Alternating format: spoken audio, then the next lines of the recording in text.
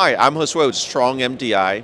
We are manufacturers of the premier um, screens around the world, which can be found from IMAXs to the smallest community theater. We also manufacture um, projection um, screens for interactive experiences. Today we are at InfoComm showcasing our new Seismos flooring system.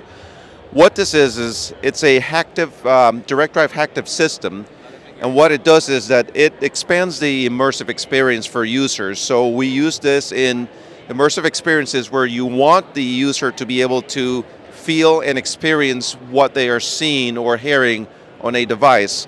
What this is doing is it's actually reacting to the content being played and the users can feel the emotions of what's been portrayed such as explosions, falls, and things like that. This is also equipped with our Orion uh, tile system, which what it is is it's a system um, that's been that utilizes our Orion paint and what this does is it also allows the opportunity to expand the immersive experience beyond the walls and the ceiling.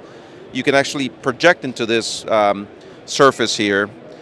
Uh, another application for this Seismos system is also for musicians. Um, it's currently used by uh, musicians such as bass players and drummers. And what this also does is when a musician is playing with in-ear monitors, you tend to lose the feeling of your instrument, of the amplifier.